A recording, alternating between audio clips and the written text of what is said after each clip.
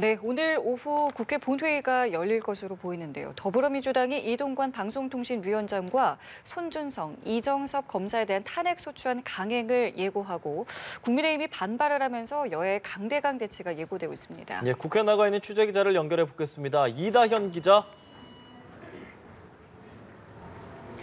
네, 국회입니다. 여야가 본회의 개의 여부를 둘러싸고 극명한 찬반 입장을 보이고 있지만 현재로선 오늘 오후 본회의가 열릴 것이란 전망이 우세합니다.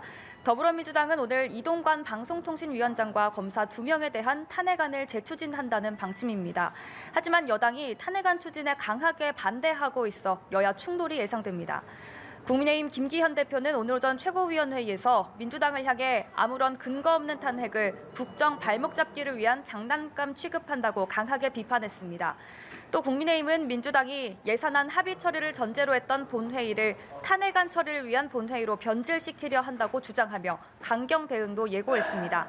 11시부터 시작된 의원총회에서 본회의 대응 전략을 논의합니다.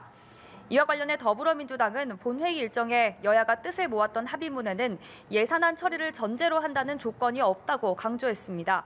국민의힘이 민생 법안을 볼모로 잡고 국회를 멈춰 세우려 한다는 겁니다. 그러면서 의장실이나 의장 공관 점거 등 초강경 대응의 가능성이 거론된 것을 언급하며 국회 선진화법 위반 행태라고 경고했습니다.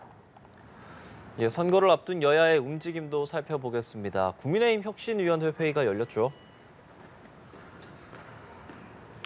네, 그렇습니다.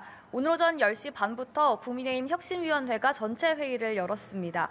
당 지도부와 중진 의원 등의 희생을 요구하는 혁신안을 논의하고 의결하는 것으로 알려졌습니다. 한편 이뉴한 국민의힘 혁신위원장은 오늘 오전 CBS 라디오에서 국민의힘 지도부를 비상대책위원회 체제로 전환할 가능성에 대해 언급했습니다.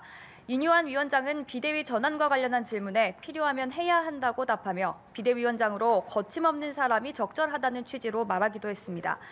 민주당은 오후에 의원총회를 열고 선거제 개편에 대한 논의를 합니다. 준연동형 비례냐, 병립형 회귀냐를 두고 당내에서 이견이 팽팽한 상황이라 오늘 당장 의견이 하나로 모아지긴 어렵다는 관측이 나옵니다. 지금까지 국회에서 전해드렸습니다.